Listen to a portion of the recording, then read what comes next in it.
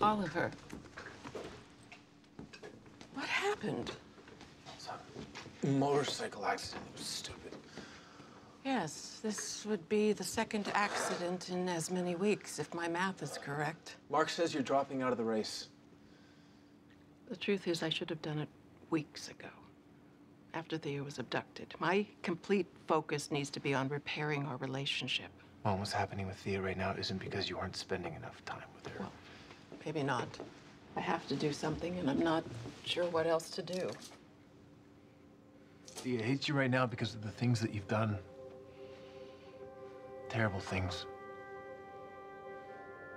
So let her see you do something good. As mayor.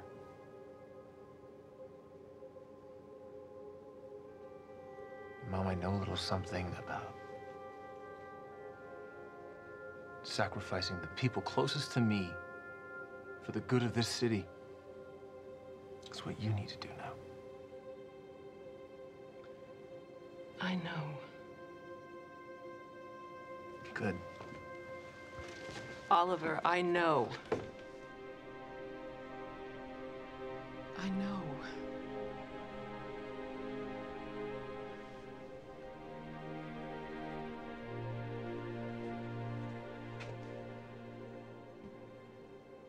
I've known since last year, I suppose. The night of the undertaking, everything became so clear. It's pretty much the night I stopped sleeping. Before you say anything else, There's nothing else to say. Nothing I need to say. Except I could not be more proud.